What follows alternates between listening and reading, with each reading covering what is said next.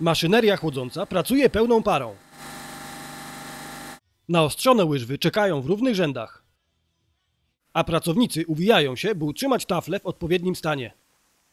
Na wrzesińskim lodowisku miejskim brakuje tylko jednego. Łyżwiarzy. Dzisiaj można poszaleć. Całą taflę ma pan praktycznie do swojej dyspozycji. Często są Tak, no tutaj właśnie pustki. Jestem, jestem zdziwiony, bo zazwyczaj przychodzi młodzież i, i jest dosyć duży ruch, a dzisiaj no, jest duży komfort. Frekwencja jest wyraźnie spadkowa, ale jeszcze nie na tyle, by uznać, że lodowisko utrzymywane jest bezcelowo. Do południa pojawiają się jeszcze klasy ze szkół z terenu gminy. Po południu użytkowników już jest trochę mniej widać wyraźnie spadek zainteresowania w stosunku do stycznia na przykład. E, Ale jeszcze e, do tej godziny 19 e, sporo ludzi przebywało na lodowisku. Obiekt przy ulicy Gnieźnieńskiej będzie otwarty jeszcze tylko do końca lutego. Marzec zostaje skreślony na podstawie zeszłorocznych doświadczeń. W marcu już zresztą zeszły rok pokazał, że praktycznie próbowaliśmy jeszcze w marcu utrzymać lodowisko, a nie było specjalnie zainteresowania. A ile, osu, ile osób dotychczas e, skorzystało z lodowiska? Macie jakieś statystyki?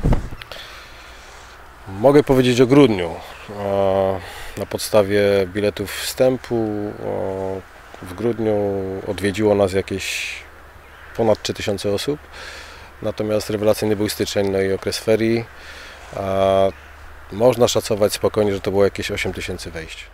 Lodowisko nie jest obiektem komercyjnym i nie musi zarabiać, ale koszty i zyski niemal się równoważą.